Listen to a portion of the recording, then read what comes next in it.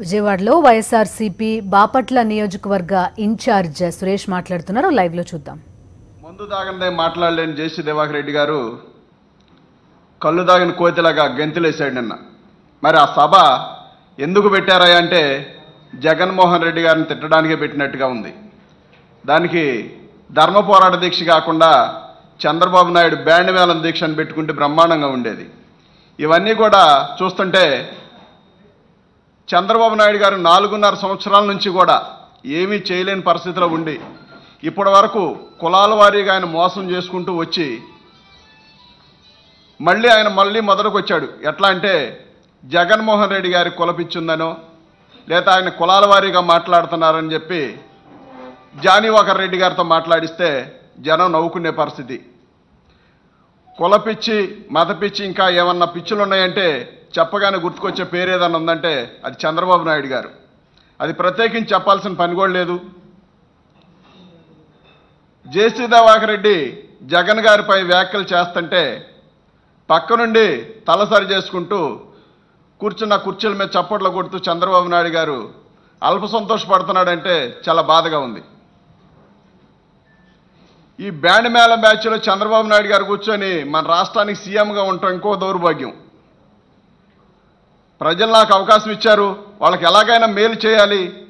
వాళ్ళని ఎలాగైనా ఈ రాష్ట్రం నుంచి ఈ సమస్యల నుంచి పారదోలే విధంగా రాష్ట్ర ప్రజల్ని ఎట్లాగైనా పంపించేయాలనే దిశగా చంద్రబాబు నాయుడు గారు అడుగు అడుగులేస్తున్నాడు. అది కాస్త చంద్రబాబు నాయుడు నాయుడు గారు ఏ స్థితికి వెళ్ళాడంటే ఎలాగనైనా రెండోసారి సీఎం పీఠం ఎక్కాలి. దానికోసం ఎంతగానో దిగజారాలి అనే కాన్సెప్ట్ పెట్టి ధర్మ పోరాట దీక్ష అని ఒకటి పెట్టి దాన్ని జగన్ గారిని తిట్టడానికి ఉపయోగించారు. అయితే వీళ్ళకి దమ్ము ధైర్యం ఉంటే కేంద్రానికి వెళ్ళి మరి జతకట్టిన నరేంద్ర మోడీ గారిని నిలదీయాలి. అక్కడికి వెళ్ళి నాయన మాకు రావాల్సినవి అని చెప్పి కాలరా పట్టుకునే దమ్ము చంద్రబాబు నాయుడికి లేకుండా ఇక్కడ ధర్మ పోరాట దీక్ష అంటే ఎవరి మీద చేస్తున్నాడు ఈయన ధర్మ పోరాట దీక్ష? ఎందుకోసం చేస్తున్నాడు? ఒకసారి ఆలోచించాలి. మరి నిన్న ఇంకో విషయం కూడా జేసీ దివాకర్ రెడ్డి గారు వ్యాఖ్యానించారు. ఏంటంటే జగన్మోహన్ రెడ్డి గారు సీట్ అడిగితే పది కోట్లు అడిగాడంట. నోరుంది కదా అని చెప్పి ఏదో ఒకటి చెప్పుకుంటూ పోవడం కాదు. మరి నందిగం సురేష్ అనే నేను ఒక సామాన్య కార్యకర్తను బాపట్ల పార్లమెంట్ సమన్వయకర్తగా నియమించిన గొప్ప మనసున్న నాయకుడు జగన్మోహన్ రెడ్డి గారు. ముందు ముందుగా కలెక్షన్ చేసి సీటుకి ఎంత ఓటుకి ఎంత అని చెప్పి వసూలు చేసుకునే వ్యక్తి ఎవరైనా ఉన్నారంటే అది చంద్రబాబు నాయుడు గారు. అది రాష్ట్ర ప్రజలందరికీ కూడా తెలిసిన విషయమే. డబ్బు కులంతో పనిచేద్దామనే ఒకే లక్ష్యంతో పనిచేసే వ్యక్తి చంద్రబాబు నాయుడు గారు. ఇది జగన్ గారికి అంటకట్టాలనుకోవడం చాలా దౌర్భాగ్యం. ఒక సామాన్య కార్యకర్తకు పార్లమెంట్ సమన్వయకర్తగా అవకాశం కల్పించి ఆ పని నువ్వు చెయ్యి దానికి నేను అండగా ఉంటానని చెప్పాడంటే జగన్మోహన్ రెడ్డి గారు మరి నా దగ్గర ఒక వంద కోట్లు వెయ్యి కోట్లు పెట్టే ఓపిక అయితే నా దగ్గర లేదు. నాకు రా రాజధాని ప్రాంతంలో అసైన్డ్ భూమి ఒకటి నలభై సెంట్లు ఉంది. అంటే ఎకరం నలభై సెంట్లు. అది కూడా ఆన్లైన్ రద్దు చేశారు మేము భూమి పూలింగ్కి ఇవ్వలేదు కాబట్టి. ఏమీ లేని వ్యక్తిని పార్లమెంట్ సమన్వయకర్తగా జగన్మోహన్ రెడ్డి గారు నియమించితే ఆయన మీద వాదులేయడానికి పది కోట్లు అడిగాడు ఇరవై కోట్లు అడిగాడు అని చెప్పి జేసీ దివాకర్ రెడ్డి అవాకులు చెవాకులు పేలుతున్నారు. జేసీ దివాకర్ రెడ్డి గారు ఒకటి గుర్తుపెట్టుకోవాలి. నీకు పందికి పెద్ద తేడా లేదు. అది గలీజ్ పనులు చేసి గలీజులో డొర్లాడుతూ ఉంటుంది. నువ్వు కూడా గలీజ్గా మాట్లాడి పందులు కూడా సిగ్గుపడే పరిస్థితిగా దిగజారి మాట్లాడుతున్నావు. నీ గత చరిత్ర చూసుకో ఒకసారి. రాజకీయ భిక్ష పెట్టి జగన్మోహన్ రెడ్డి గారి తండ్రి ఆయన కాళ్ళకాడ కూర్చొని ఎమ్మెల్యే సీటు కోసం ఈ మధ్య వాట్సాప్లో చాలా గ్రూపుల్లో మనం చూసాం కూడా. ఆయన తండ్రి కాళ్ళకాడ కూర్చొని సీటు కోసం నువ్వు ఏ రకంగా ప్రాధాయపడ్డావో ప్రత్యక్షంగా ఫోటోలు చూస్తే అర్థమవుతూ ఉంటుంది. నువ్వు కూడా మరి మాట్లాడుతున్నావంటే ఇది చంద్రబాబు నాయుడు గారి నుంచి ఏం ఆశించి నువ్వు పనిచేస్తున్నావు అర్థమవుతానే ఉంది. మరి నువ్వు నీకులాగా ఇంకా సోమిరెడ్డి గారు. ఆ సోమిరెడ్డి గారు మీరు కలిసి కులాల వారిగా కుంపట్లు పెట్టి జగన్మోహన్ రెడ్డి గారి మీద రుద్దుదామంటే జనం పిచ్చోళ్ళు కాదు. ఎందుకంటే మీకు తెలిసిన విషయమే మీరు ఏం చేస్తున్నారో అది జన జగన్మోహన్ రెడ్డి గారి మీద రుద్దాలని చూస్తున్నారు. కాబట్టి మీరు ఇవన్నీ మానుకోవాలి. జేసీ రెడ్డి గారు నిన్ను పశువులతో పోల్చడానికి కూడా మాకు చాలా సిగ్గు అనిపిస్తుంది. ఎందుకంటే పశువులు కూడా బాధపడతాయి. వాటికి కూడా ఒక విఘ్నత ఉంటుంది. పూర్తిగా ఎన్ని కోల్పోయారు. పొద్దున్నే సభలోకి మందు కొట్టెక్కినట్టుగా మాట్లాడారు తప్ప మానవత్వం ఉన్న వ్యక్తి మరి ప్రజా సమస్యల మీద మాట్లాడాల్సిన వ్యక్తి నేను. నేను మాట్లాడాల్సింది ప్రజా సమస్యలపైన కేంద్రం నుంచి రావాల్సిన నిధులపైన అని చెప్పి మాట్లా అది కాస్త వదిలేసి జగన్మోహన్ రెడ్డి గారే టార్గెట్ అని వాళ్ళ ఫ్యామిలీల మీద కూడా టార్గెట్గా మాట్లాడే పరిస్థితి జేసీ దివాకర్ రెడ్డి మాట్లాడుతున్నాడంటే చంద్రబాబు నాయుడు గారు ఎంగిల్ మెతుకుల కోసం జేసీ దివాకర్ రెడ్డి పనిచేస్తున్నాడని అంతకుమించి చెప్పాల్సిన పని లేదు. నీకు చంద్రబాబు నాయుడు మీద అంతగా ప్రేమ ఉంటే ఆయన బూట్లు నాక్కుంటూ బూట్లు తుడుచుకుంటూ ఆయన కింద పాలేరు పని చేయి. తప్పేం కాదు. ఎందుకంటే నువ్వు బతకాలి కాబట్టి నీ తిప్పలు నువ్వు పడాలి కాబట్టి. అలాగనని జగన్మోహన్ రెడ్డి గారి మీద ఏదో రకంగా దాడి చేద్దాం ఏదో విధంగా కులారు వారిగా స్విచ్ పెడదాం అని చెప్పానంటే మాత్రం ఖచ్చితంగా ఒక్క ఒక్క విషయం అయితే గుర్తుపెట్టుకోవాలి జేసీ దివాకర్ రెడ్డి గారు. రానున్న రోజుల్లో నీ బట్టలు ఓడదీసి కొడతారు ప్రజలు గుర్తుపెట్టుకోవాలి. మేమేం పిచ్చోళ్ళం కాదు. నువ్వు ఏది పడితే అది మాట్లాడుతూ ఉంటా చూస్తూ ఉండటానికి మా నాయకుడు మాకు ఈ విధంగా ఉండాలి మీరు ఇట్లానే ఉండాలి. నన్ను చూసి నాకులాగా మీరు కూడా ఇట్లా ఉండాలి ఇట్లా ఉండాలని దిశ దశ నేర్పారు కాబట్టి మేము మౌనంగా మౌనంగా ఉన్నాం. మేము మాట్లాడడం మేము తిట్టడం మొదలేస్తే నువ్వు అవ్వచ్చు చంద్రబాబు నాయుడు గారు కావచ్చు ఎందుకు బతికున్నామని ఫీల్ అయ్యే సందర్భాలు వస్తాయి. అంత భయంకరంగా ఉంటుంది. కాబట్టి నాలుక దవడన ఉండాలి.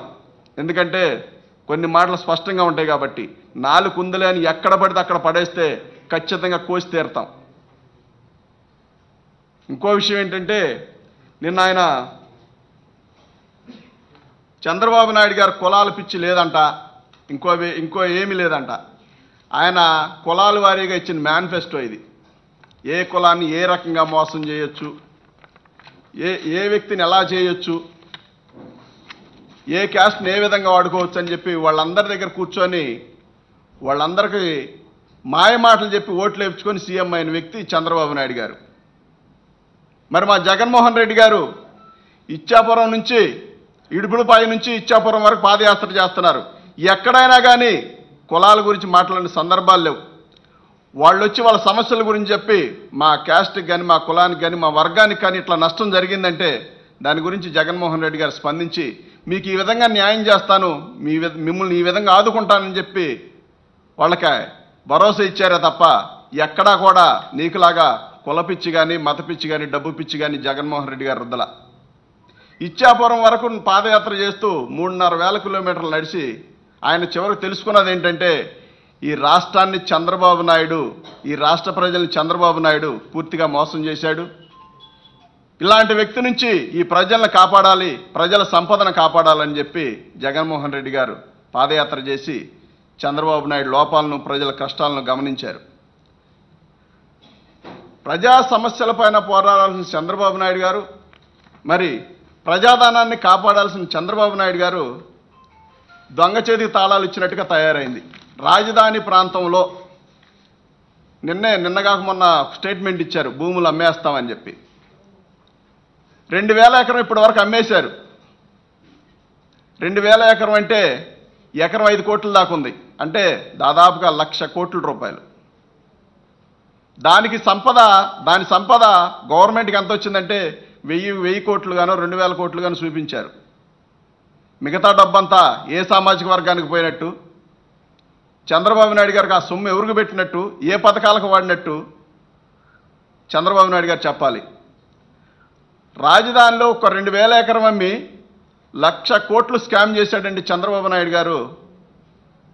ఒకసారి రాష్ట్ర ప్రజలు కూడా ఆలోచించాలి.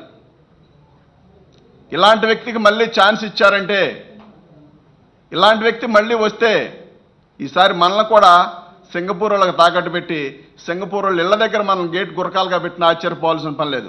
ఎందుకంటే చంద్రబాబు నాయుడికి రైతు అన్న నచ్చదు పేదవాడన్న నచ్చదు వ్యవసాయం అన్న నచ్చదు.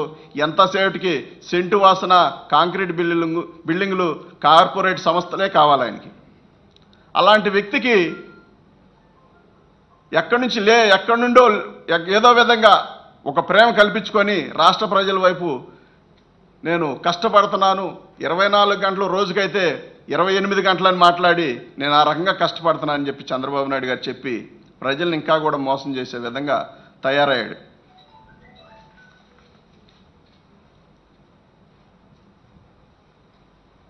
ఇంకొక విషయం చెప్పాలండి. కేంద్రం నుండి విభజన హామీలు కొన్ని ఉన్నాయి. అవేంటంటే సచివాలయం కానీ కడప స్టీల్ ప్లాంట్ కానీ ఈ పోలవరం నిధులు కానివ్వండి మరి వీటన్నిటినీ కూడా కేంద్రం కట్టాలి.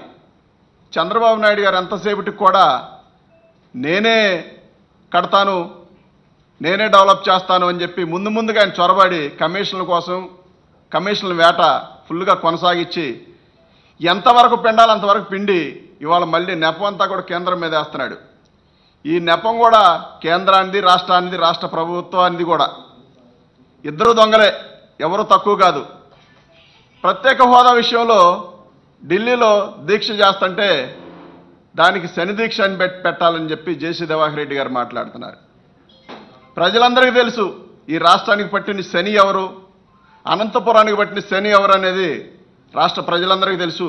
రానున్న రోజుల్లో ఖచ్చితంగా మీకు బుద్ధి చెప్ చెప్పి తీరుతారు ఈ రాష్ట్ర ప్రజలు. ఇది మొదలుకొని ఇంకెప్పుడైనా జగన్మోహన్ రెడ్డి గారి పైన కానీ జగన్మోహన్ రెడ్డి గారి ఫ్యామిలీ పైన కానీ మీరు దాడి చేస్తే మేము వ్యక్తిగతంగా కానీ మాటల పరంగా కానీ ఊరుకునేది లేదు సహించేది లేదు.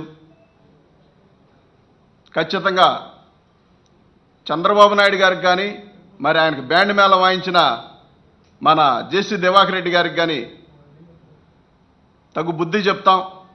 అదేవిధంగా రాజధాని ప్రాంతంలో మూడున్నర సంవత్సరాల్లో బ్రహ్మాండమైన రాజధాని కడతాను బ్రహ్మాండంగా తీర్చిదిద్దుతాను.